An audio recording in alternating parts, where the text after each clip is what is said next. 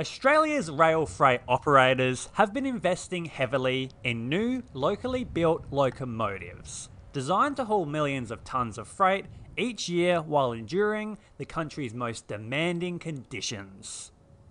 Built at UGL Rail's Broadmeadows facility in New South Wales, the C44 ACI and C44 ES ACI locomotives represent the latest in Australian rail engineering. Over 1400 kilometres west of the production line, deep in the Australian outback, these machines prove their worth in the extreme heat and isolation they were built to withstand. Aurizon has taken delivery of 30 new locomotives, delivered progressively from 2022 through to mid October 2025, with the final unit ACD 6075 entering service this month. Here at the Wirrappa S Curves, ACD 6071, which joined the fleet in June, hauls an Aurizon intermodal service bound for the outback communities, including Alice Springs, Tennant Creek, and Katherine, before continuing north to Darwin, the final destination for most of the train's containers.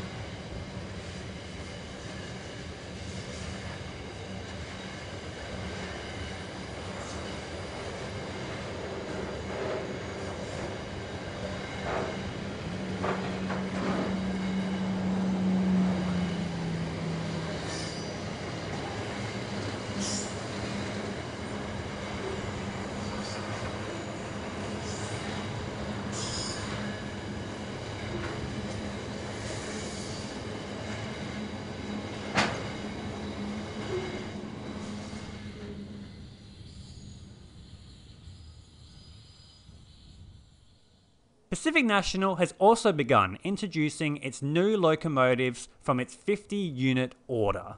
Three of the new engines, classed the 94 class, are on their second consecutive outing west across the Trans Australian Railway to Perth, hauling intermodal service 6MP4 through the Wirrappa S curves.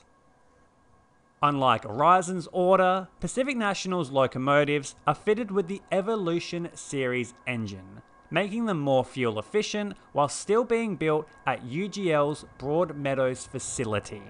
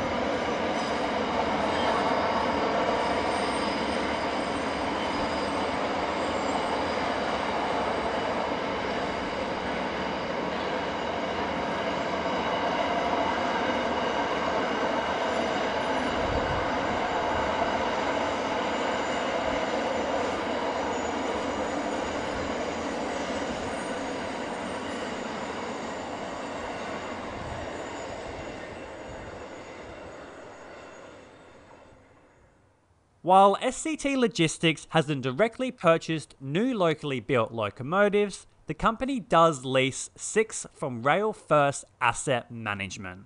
Among them, CF4429, which entered service in the third quarter of 2024, has since been a regular on SCT's east west intermodal runs. Seen here on service 6PM9, CF4429 leads the train away from Marappa working alongside CSR 018, one of the operator's Chinese built units.